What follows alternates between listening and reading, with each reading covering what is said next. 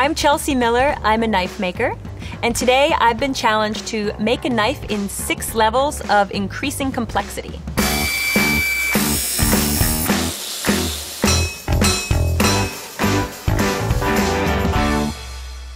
So, obviously, there are so many subcategories of knives depending on the knife maker's bent towards tradition versus ingenuity. Knives can become so complex. For example, making your own Damascus steel, which is a process of forge welding hundreds of pieces of steel together before you even begin to shape the blade. What I love about knives is it really the complexity level is endless. You could keep going beyond just the basic steps needed.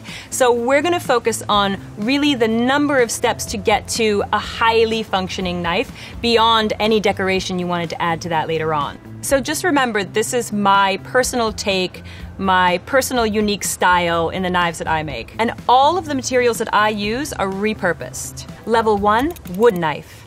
The wood knife would be the most simple level because we're only working with one material, which is the wood itself. All you need to do is source the wood. We'll trace out our desired shape in the piece of wood, cut it out, sand it, and oil it. So we're only using very few tools here. Important things to remember when cutting out the shape is to keep yourself protected. So, protecting your eyes, protecting your ears, and making sure that your fingers are always outside the reach of the blade. Leave yourself a little room. There's no adding material once you've cut, so it's important to give yourself a little bit of wiggle room and cut it a little bigger than you've traced. I mean, really, the worst thing that could happen is either you cut into the shape that you've traced, or maybe you go too deep when you're sanding it, in which case, it's not really a big deal to just start over. The most important thing when sanding is not to remove too much material, because again, you can't go back. Start at a coarse grit and increase the tightness of the grit so you end up with a very fine sanding of the knife. This will keep the moisture out of your knife, it'll keep a really nice smooth finish on the blade,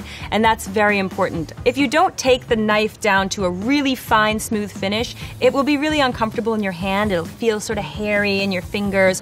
Also, food will get stuck to it, and the process of it being wet and then drying will tend to dry out the knife a lot. Also, wood loves oil, so if you apply a mineral oil, maybe a little beeswax in there, that'll help keep the moisture out of the material. I like to just use my bare hands, just get that oil right in there into the grain. Just rub it between your fingers afterwards.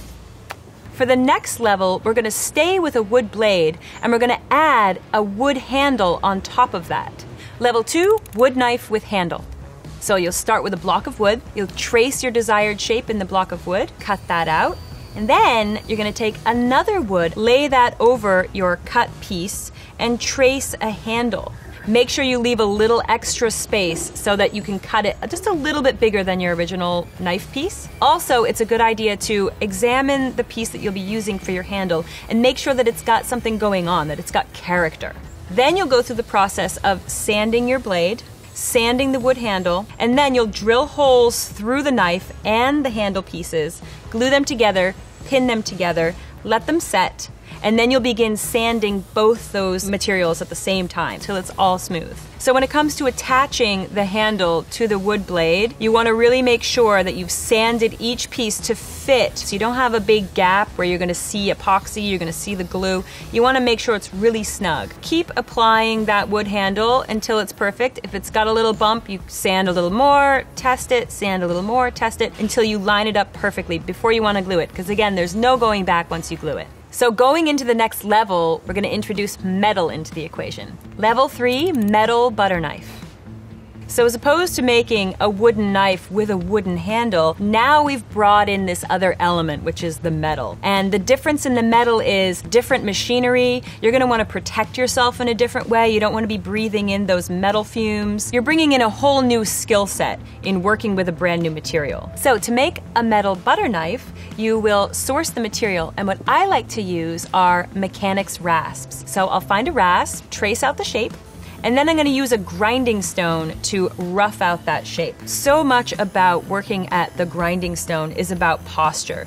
If you're standing there like I am for hours a day, you want to make sure that you're not overworking your body because it'll really start to take a toll. You're using a lot of force. You have to be very aware of keeping my elbows in, keeping like in a in a straight line so that I've got a lot of movement and I'm not too rigid, and then letting the material really guide me. Unlike working with wood where it wants to take your lead, the metal really will control you. Once I've ground out that shape, I'll use a series of sanding belts to bring it down to just the shape and thickness that I like. Then I'll drill holes for a handle, pins, wood handle, glue it together, clamp it, let it sit overnight, and then starts the sanding process. So the difference in sanding now, this metal butter knife versus the wooden knife, is that you're going to use difference in pressure. The wood is very soft, and the metal obviously is very hard, so you need to use a lot more resistance. In the final sanding of your knife, which will be hand sanding, you want to make sure that you use separate pieces of sandpaper because, say, you're sanding the metal material and then you move to the handle, you've then rubbed bits of metal particles into your wood, which, if you are using a very light colored wood, it'll just get into the grain and look dirty. So, you want to make sure that you separate your sandpaper for the wood and your sandpaper for the handle in the hand sanding process. For the next level, we're adding a lot of stages to this next knife. Level 4 Paring Knife. The difference in making a paring knife as opposed to a butter knife is that now we're using this knife to cut different materials. We are thinking about how we need to cut vegetables or, or fruit. So we need to think about the length of the blade, how it fits in our hand, what kind of edge we want, and also we want to make sure that that blade is structurally sound. So making sure that the molecular structure is going to last a really long lifetime and hold an edge forever. Well, maybe not forever, but. so, as opposed to using the grinding stone to create our shape for the paring knife, like we did with the metal butter knife, we're going to need to remove a lot more material this time. So, the best process that I like to use is to heat it in the forge. Forging is a process of heating your material and then hammering it out, spreading the material forward. An important thing to remember when you're hammering, keep your movements really close to the body. So instead of having your arm way out here and putting a lot of stress on your back, your shoulder, your elbow, to keep it really tight. It's like trying to do anything without using your core. A lot of the techniques and the steps that we'll be going through requires a lot of really centered core strength. So things to be aware of when you're forging are the fact that you're working with a very hot piece of metal and you're working with machinery that gets also very hot. And as you're hammering, bits of that material can fly off in multiple directions. So you want to make sure that you are protected against heat. So I create a rough shape there, then I move to the grinding stone to rough out a more specific shape, then move to the sanding belt, bring it down to mostly the shape that I want. We'll have to heat treat it Heat treating is a process of heating and cooling your material to bring out the optimal characteristics. When we put our paring knife into the forge, we're heating it to a very extreme temperature and then manipulating it as it cools down. So all the electrons in the material, all the carbon is scattering about the material. So I like to use a heat treat oven. It's a very controlled, preset temperature. That way I can be sure that I've got the optimal heat treating going on. So the temperature at which you're going to heat treat depends on the grade of steel that you're using. The grade of steel that I use is repurposed tool steel, which is 1095. I will heat treat between 1475 and 1500 degrees. I put it a little high because every time you open the door, the temperature will drop about 100 degrees. So opening and closing will change the temperature. I want to let it sit for at least 5 to 10 minutes at 1500 degrees before I remove the material and quench it into a warm oil. Now, one of the reasons I like to use my heat treat oven is because it's very consistent. When you're heat treating with a torch or in a forge, oftentimes the rate of temperature at different areas in the knife can be can be different, and therefore certain places in your knife can be weaker or more brittle. It's very important to avoid having a brittle edge because you'll never be able to keep it sharp, and there's a possibility that you could break it by bending it or applying too much force. Then begin the process of building a handle, finding the wood, cutting the shape for the handle, pinning and gluing it, and then again the process of sanding the handle and sharpening and sanding the blade. There are obviously many ways that you can go about sharpening a knife. I prefer to use a series of whetstones. Of course, there's a big learning curve in whetstones. It takes a lot of practice to get your angle right, and the number one key is your angle. It's a great satisfactory moment when you've been working on your knife and you can really see the progress you've made. Besides that, I would recommend something that sits on your countertop and you slide it through with a moving belt. Knife sharpeners I don't really love are really the on the go that you hold in one hand, two pieces of tungsten just V'd together that you slide your knife through. Personally, I prefer a whetstone. When you're using a whetstone, really the most important key is to maintain your angle. Now, I'm so familiar with sharpening my own knives that I can essentially freehand on the belt sander and then clean any of it up on the whetstones to create the edge. So if you're just starting out, the best way is to set up a jig on your sanding belt to the exact angle. You place your knife in the jig, it's the same every time, and then you get that muscle memory of where that exact angle is. Some people prefer to always use a jig, then you just know it's preset, you know your angle. I like to be a little more loose in form, makes me feel good when I when I'm freehanding it and I can see that I've done a good job. So it's really a personal preference. Now, going into the next level, we're adding on a little more complexity here because we're going to be using this knife for another range of tasks. So we need to be more mindful of how this knife is going to be balanced, the shape in which you're going to be using it for whatever things you're going to be cutting, and also for the user themselves. Level 5 kitchen knife made from a pre made blank. So this knife really would be between a paring knife and a chef knife, something that you would grab in your kitchen for all those in between kind of tasks. At this level, we're going to be using pre-cut materials. So we're going to order a pre-made blank and then also a pre-made handle. So oftentimes you'll see these in starter kits. You can order the pre-made blank, it arrives already cut to the shape and with a pre-formed beveled edge. So really we're cutting out our blank handle piece, attaching it, and then just putting an edge on that pre-beveled edge. It's very important to know what kind of bevel you're working with, what kind of bevel your knife has. So a single bevel knife is a knife that is completely straight all the way to the edge on one side and has a slight bevel and, an, and the edge on the other side. These are generally used in Korean and Japanese cooking where you're cutting raw fish or you're creating really long slices in vegetables. And a double bevel knife is pretty much for everything else in your kitchen, far more common, where you have a bevel and an angle on both sides of the knife. That's much more useful when you're cutting meat or you're cutting large vegetables. It's a little more versatile and also easier to sharpen and maintain in your kitchen.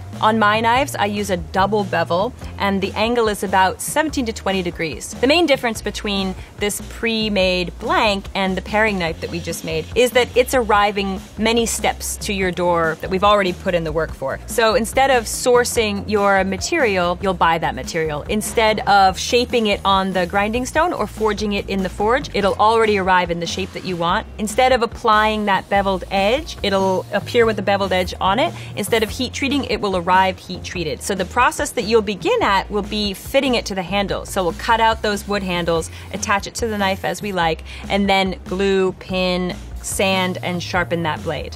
So the steps are reduced in making it, but it's far more complex in your kitchen because you'll use it for many more tasks than you would the paring knife. It also has a much more substantial blade and a longer blade. So the next and final level that we're going to cover today will be the most complex, level 6, chef's knife from raw materials. So in terms of sourcing raw materials for this chef's knife, there are a lot of options to choose from. You can choose types of steel depending on the kind of things that you want to be cooking in your kitchen. You could choose stainless steel for your blade. It's a little bit different in the way that you work with it, but generally the process is the same. I prefer to use high carbon steel as it's got a lot more characteristics, takes on a patina over time.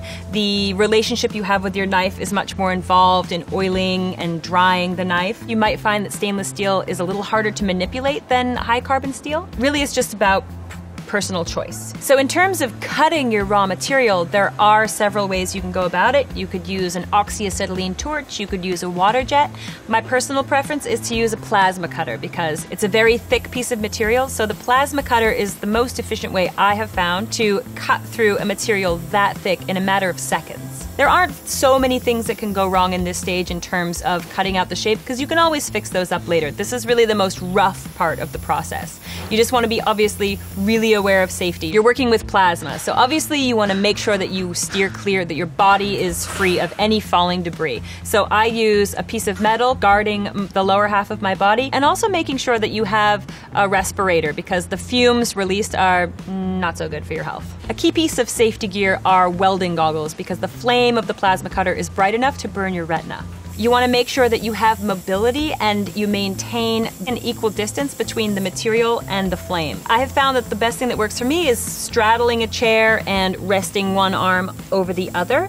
That way, I have one arm to stabilize the other as I cut. If you were to veer away from that direct angle, you may come off to one side, creating a lot of slag, which means a lot of the material is sort of folding back up on itself and becoming very hard and crisp along the edge. It also makes our, our next stage a lot longer where we're cleaning all of that up on the grinding stone. Now, the reason we don't use the forge for this particular knife is because my particular chef's knife also incorporates a grater on the side, which is left over from the original purpose of the tool. So we're gonna use the grinding stone as opposed to the forge so that we keep that intact. We keep that zester grater intact. If we were to heat it in the forge and hammer it, we would lose that texture altogether. So second stage, at the grinding stone, removing excess material. Third step will be at the sanding belt, sanding, bringing that knife down to a finer shape, and then heat treating. Finding a handle from raw materials, attaching the handle, gluing, pinning, letting that cure, and then a process of sanding, sharpening, and finishing. So I think we've covered a lot today. Obviously, we could continue on with other levels of complexity, but we're gonna stop at this level today. We've outlined the fundamental steps of creating a functional, characteristic knife. Thanks, Wired.